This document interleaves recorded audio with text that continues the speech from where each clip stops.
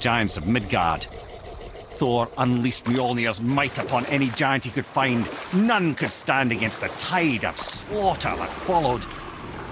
And at last, it seems, with Tyr's aid, they retreated. The tower disappeared, no giants could be found in Midgard, and no man nor god has set foot in Jotunheim since.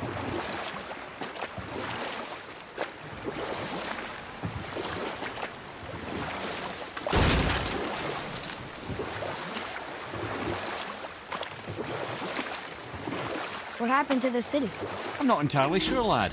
It was abandoned long before Jormungandr came to town and flooded the place. Hmm. I wonder what it was like to live here.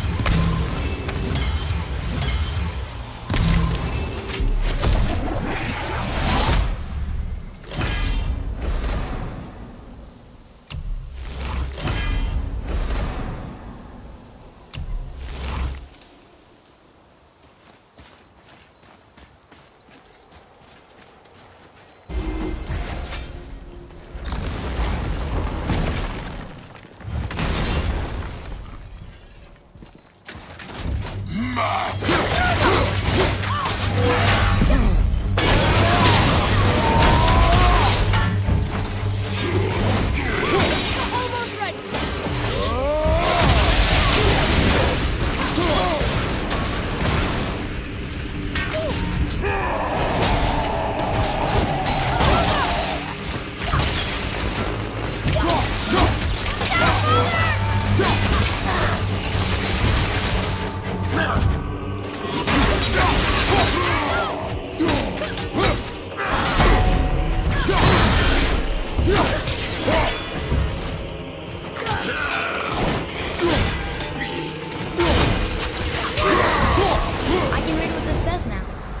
But it's a name.